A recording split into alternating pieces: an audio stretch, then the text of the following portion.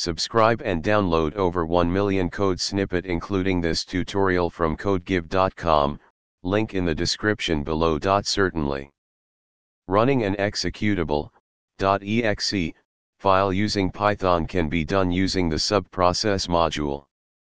The subprocess module allows you to spawn new processes, connect to their input slash output slash error pipes, and obtain their return codes.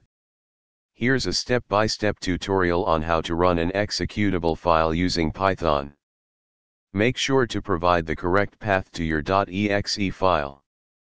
In this example, replace path slash to slash your slash file.exe with the actual path to your executable file. Use the subprocess.run function to execute the specified executable.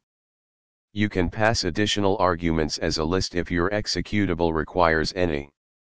Ensure that you have the necessary permissions to run the executable, and the executable file path is correctly specified in your script. Additionally, the executable file should be compatible with the operating system you are using. ChatGPT